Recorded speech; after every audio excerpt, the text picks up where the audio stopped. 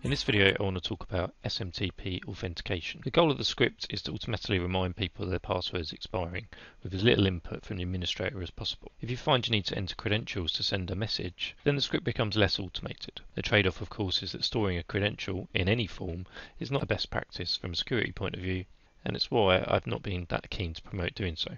However, I do get a lot of questions about how to do it, especially with people that have moved to services like Office 365, and I've decided that you're all big enough to make your own decisions about storing credentials. So with that in mind, uh, the first thing you want to do is run a PowerShell window in the context of the service account that you run the script as.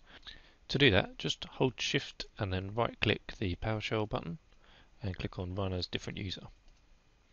It should ask you to log in, so we want to log in as our reminder user. So once PowerShell is loaded, you can type in who am I, and that will show us that we're running under the context of our password reminder user. Now we're going to store a credential file, and we want to save that in our scripts folder. Uh, before we do that, we would just want to lock down the NTFS permissions on that folder uh, as much as we can. So we'll disable inheritance, and then we'll remove the users from that. So the only people allowed to access this folder are the administrator, and uh, remove the authenticated users as well. So it's just the administrator and the password reminder user. Go back to our PowerShell window now. Uh, and what we'll do is we'll enter in a path, store that, and this is going to be the file that we're going to save our password into. Uh, so that can be smtp.txt. Now we're going to use uh, something called read host, which allows us to type in our password. Uh, we're going to tell it it's a secure string, and that will obscure the password so that when we type it in you'll just see uh, the dots.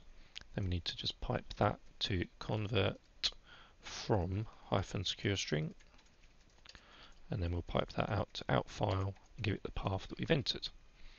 So now what we need to do is enter the password for our SMTP server, not our domain user if they're different.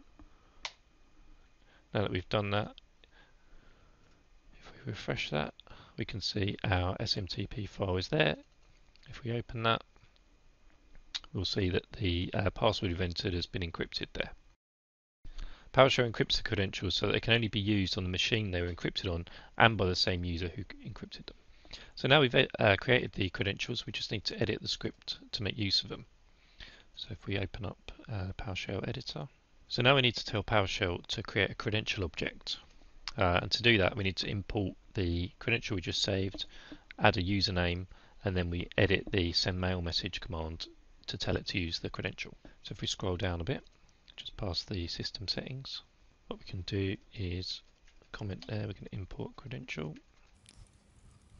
We're going to tell it to get the content of our uh, scripts file that we created and convert that back to a secure string. Like that. And the username that we're going to use. And then we'll create our credential which is uh, a custom object. And we give it the username and the password.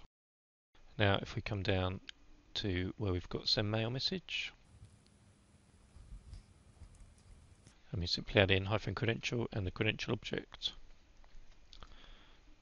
And if we've got any other send mail message lines, which I think we do, do the same.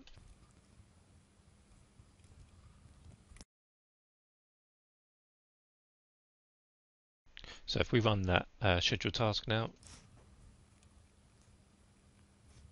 we should see a log file generated in a moment showing us whether those emails were sent or not. And that is how you use SMTP credentials.